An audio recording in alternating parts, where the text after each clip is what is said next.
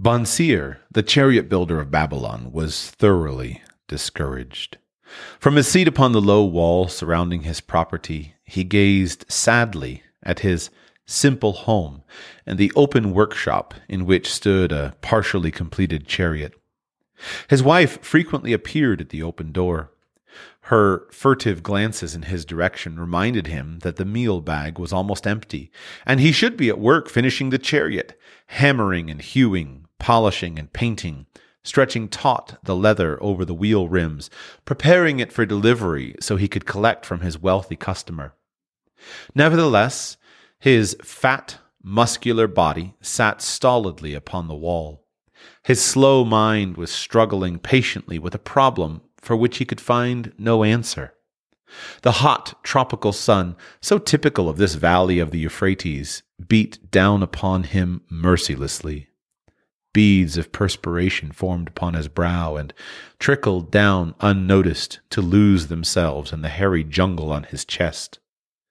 Beyond his home towered the high terraced walls surrounding the king's palace.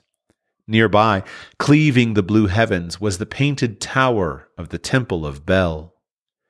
In the shadow of such grandeur was his simple home, and many others far less neat and well cared for. Babylon was like this a mixture of grandeur and squalor, of dazzling wealth and direst poverty, crowded together without plan or system within the protecting walls of the city. Behind him, had he cared to turn and look, the noisy chariots of the rich jostled and crowded aside the sandaled tradesmen, as well as the barefooted beggars. Even the rich were forced to turn into the gutters to clear the way for the long lines of slave water carriers on the king's business, each bearing a heavy goatskin of water to be poured upon the hanging gardens. Bansir was too engrossed in his own problem to hear or heed the confused hubbub of the busy city. It was the unexpected twanging of the strings from a familiar lyre that aroused him from his reverie. He turned and looked into the sensitive, smiling face of his best friend, Kobbi, the musician. May the gods bless thee with great liberality, my good friend, began Kobbi with an elaborate salute.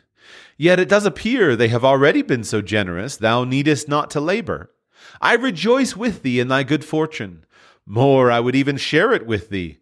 Pray from thy purse, which must be bulging, else thou wouldst be busy in yon shop, extract but two humble shekels, and lend them to me until after the nobleman's feast this night. Thou wilt not miss them ere they are returned. If I did have two shekels, Bansir responded gloomily. To no one could I lend them, not even to you, my best of friends, for they would be my fortune, my entire fortune. No one lends his entire fortune, not even to his best friend. What? exclaimed Kobbi with genuine surprise. Thou hast not one shekel in thy purse, yet sit like a statue upon a wall? Why not complete that chariot? How else canst thou provide for thy noble appetite? Tis not like thee, my friend. Where is thy endless energy? Doth something distress thee? Have the gods brought to thee troubles? A torment from the gods it must be, Bansir agreed. It began with a dream, a senseless dream, in which I thought I was a man of means. From my belt hung a handsome purse, heavy with coins. There were shekels which I cast with careless freedom to the beggars. There were pieces of silver with which I did buy finery for my wife, and whatever I did desire for myself. There were pieces of gold which made me feel assured of the future and unafraid to spend the silver. A glorious feeling of contentment was within me. You would not have known me for thy hard working friend, nor wouldst have known my wife, so free from wrinkles was her face and shining with happiness. She was again the smiling maiden of our early married days. A pleasant dream indeed, commented Kobbi. But why should such pleasant feelings as it aroused turn thee into a glum statue upon the wall? Why, indeed? Because when I awoke and remembered how empty was my purse, a feeling of rebellion swept over me. Let us talk it over together, for, as the sailors do say, we ride in the same boat, we two. As youngsters, we went together to the priests to learn wisdom. As young men, we shared each other's pleasures. As grown men, we have always been close friends. We have been contented subjects of our kind. We have been satisfied to work long hours and spend our earnings freely. We have earned much coin in the years that have passed. Yet, to know the joys that come from wealth, we must dream about them. Bah! Are we more than dumb sheep? We live in the richest city in all the world. The travelers do say none equals it in wealth. About us is much display of wealth, but of it we ourselves have naught. After half a lifetime of hard labor, thou, my best of friends, hast an empty purse, and sayest to me, May I borrow such a trifle as two shekels until after the nobleman's feast this night? Then what do I reply? Do I say, Here is my purse, its contents will I gladly share? No. I admit that my purse is as empty as thine. What is the matter? Why cannot we acquire silver and gold, more than enough for food and robes?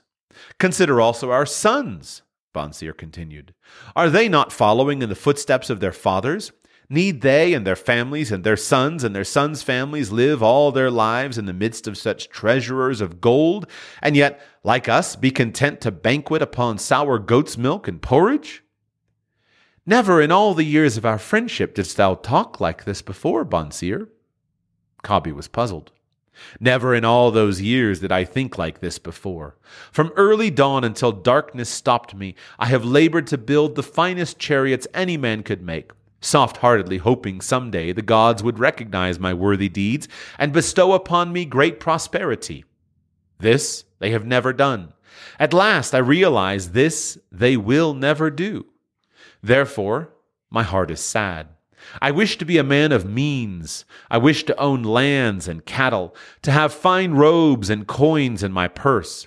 I am willing to work for these things with all the strength in my back, with all the skill in my hands, with all the cunning in my mind, but I wish my labors to be fairly rewarded. What is the matter with us? Again, I ask you, why cannot we have our just share of the good things so plentiful for those who have the gold with which to buy them?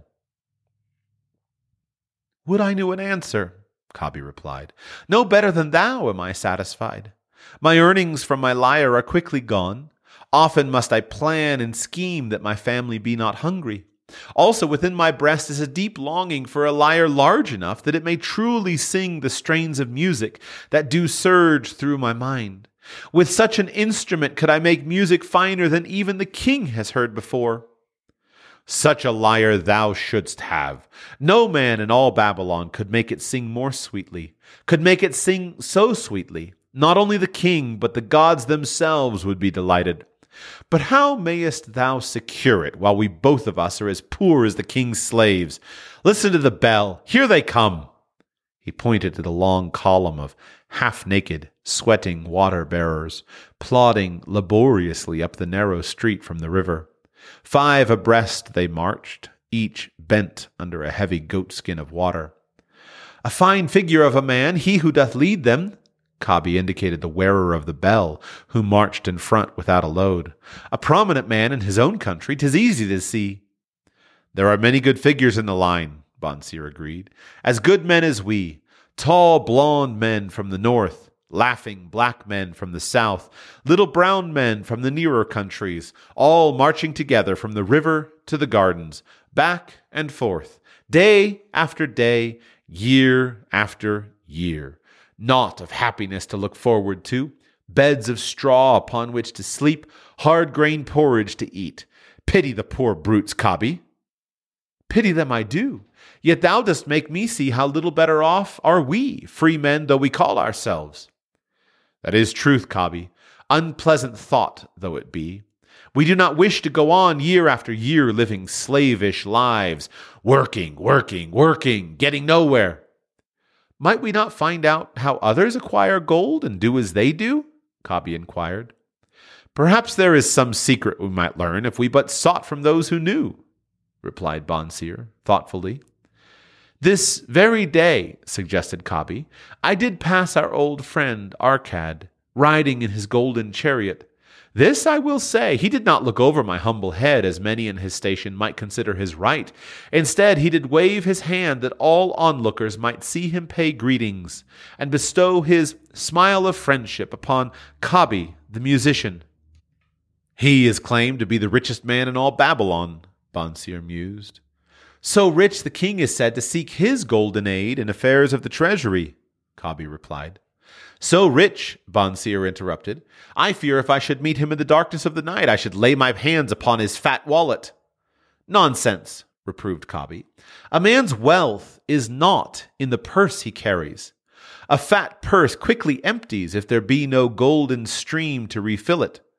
Arkad has an income that constantly keeps his purse full, no matter how liberally he spends. Income, that is the thing, ejaculated Bansir. I wish an income that will keep flowing into my purse, whether I sit upon the wall or travel to far lands. Arkad must know how a man can make an income for himself. Dost suppose it is something he could make clear to a mind as slow as mine? Methinks he did teach his knowledge to his son, no, monsieur, Kobbi responded.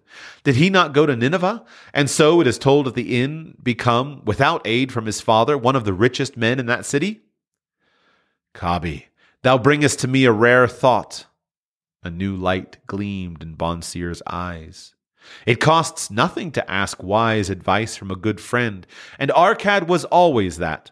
Never mind though our purses be as empty as the falcon's nest of a year ago, let that not detain us. We are weary of being without gold in the midst of plenty. We wish to become men of means.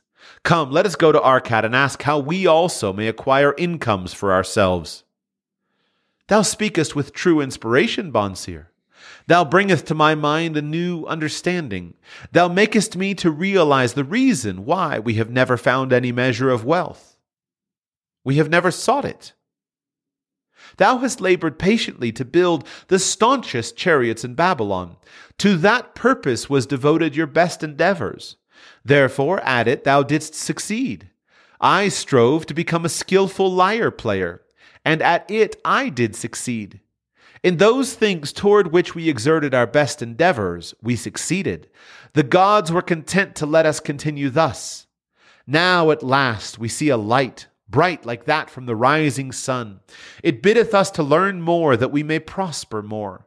With a new understanding, we shall find honorable ways to accomplish our desires. Let us go to Arkad this very day, Bansir urged. Also, let us ask other friends of our boyhood days, who have fared no better than ourselves, to join us, that they too may share in his wisdom. Thou wert ever thus thoughtful of thy friends, Bansir. Therefore hast thou many friends. It shall be as thou sayest. We go this day and take them with us.